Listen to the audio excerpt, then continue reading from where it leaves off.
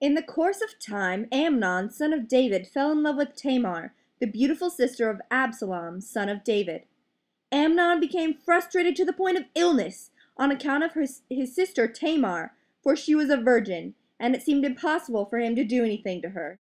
Now Amnon had a friend named Jonadab, son of Shemaiah, David's brother. Jonadab was a very shrewd man. He asked Amnon, Why do you, the king's son, look so haggard morning after morning? Won't you tell me? Amnon said to him, I am in love with Tamar, my brother Absalom's sister. Go to bed and pretend to be ill, Jonadab said. When your father comes to see you, say to him, I would like my sister Tamar to come and give me something to eat. Let her prepare the food in my sight, so I may watch her and then eat it from her hand.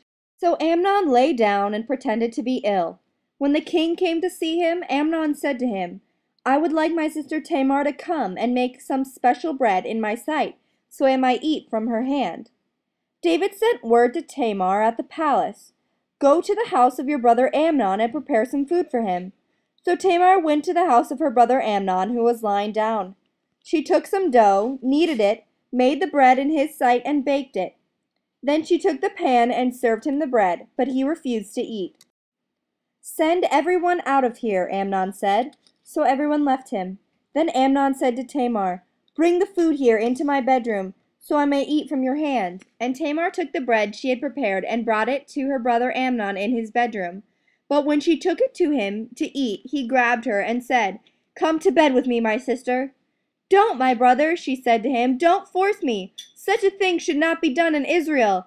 Don't do this wicked thing. What about me? Where could I get rid of my disgrace? And what about you? You would be like one of the wicked fools in Israel.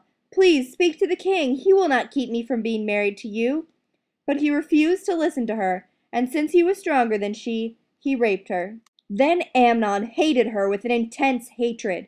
In fact, he hated her more than he had loved her. Amnon said to her, Get up and get out.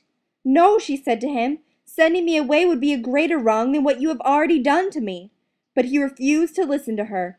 He called his personal servant and said, Get this woman out of here and bolt the door after her.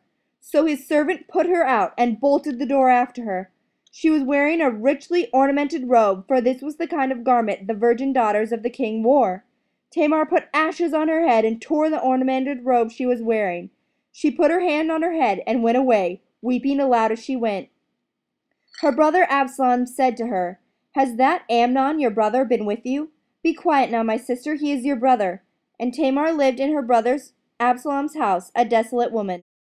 When King David heard all this, he was furious. Absalom never said a word to Amnon either, good or bad. He hated Amnon because he had disgraced his sister.